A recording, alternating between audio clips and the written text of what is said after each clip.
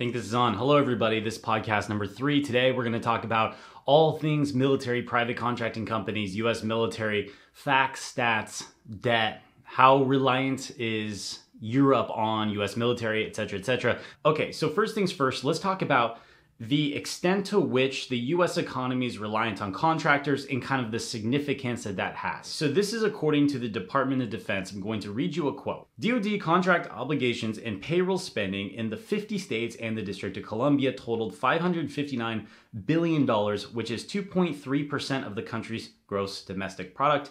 If the total spending were divided across every US resident, it would amount to $1,684 per US citizen. So I'm going to put that in normal people terms.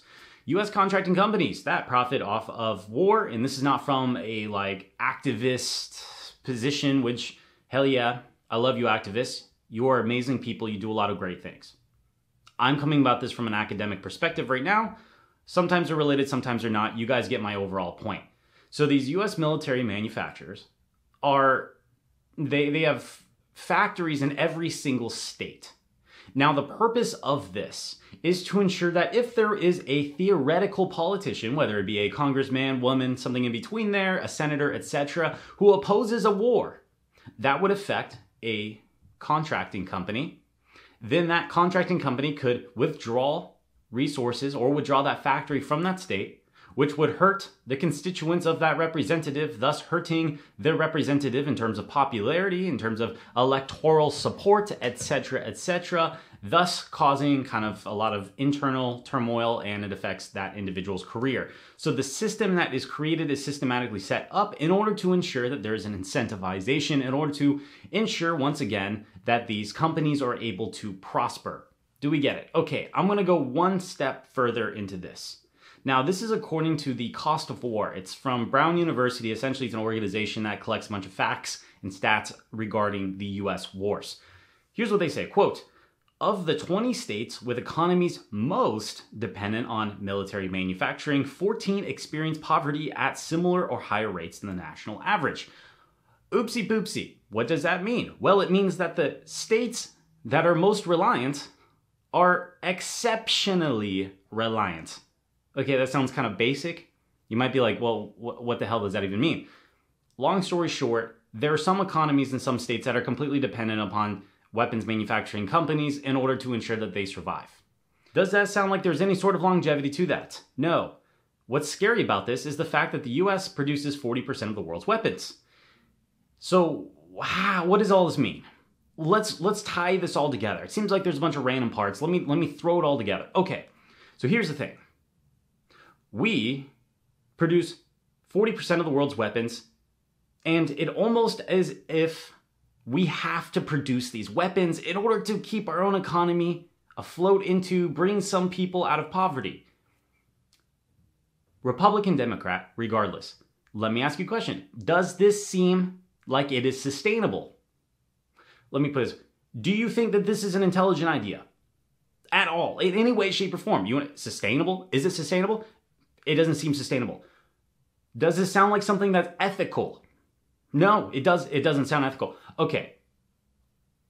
Does it sound like something that should be changed? Maybe revolutionize our industries so we are less reliant on these weapons manufacturing companies because it pushes our soldiers closer into war so they have to fight and die in countries we probably can't point to in a map? Like do you guys even know where Central African Republic is? And don't say Central Africa, okay? Can you point it out? And this is not a dig against you guys. It's not a dig against anybody. And specifically, what my point is, is that by funding these things, we are not only promoting war, but at the same time, we are pushing our soldiers closer into wars that they shouldn't have to die in. Why does somebody in Arkansas or Florida or uh, California or whatever, Oregon, why do they have to die in a war that they probably shouldn't be in? Weapons manufacturing companies develop weapons for who? Who do they develop it for? Well, actually, I can tell you that, aside from US wars themselves, or Ukraine by example, they also develop wars for, say, Saudi Arabia, who's the second importer. I was thinking, like, what is the word? Importer of US weapons. They are creating a literal genocide against Yemen. Hmm, that doesn't sound like something we should support. What other industries could we potentially get into? That is my overall point. We need to change this into an industry that is more sustainable and ethically principled. What could that possibly be?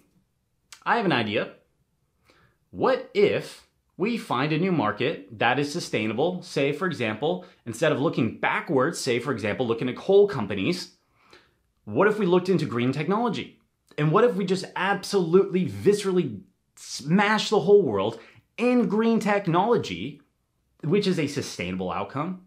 We get people full time paychecks to learn how to do this, give them the skills to be able to develop this technology, which would not only provide a livelihood for them, if you're worried about pulling people up from the bootstraps, making sure they're able to change their own lives, we have to make sure that they have a sustainable project to ensue. So, for example, if we were to train people, give them the skills to be able to get into an industry that's sustainable, not only could they provide for their family, but also at the same time, they could also give that job to their kids. And then their kids have a job, and then their kids have a job, and also at the same time, they're not destroying the environment.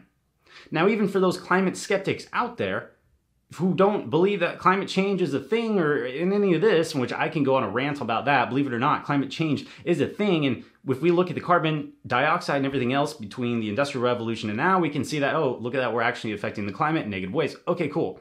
Guess what? Even if we weren't to take any of that into consideration, guess what? We still need an industry that is going to thrive in the future. What industry is going to thrive in the future? Green technology. Hmm. So perhaps there should be a politician who should support a bill to increase industries that are more sustainable than weapons manufacturing.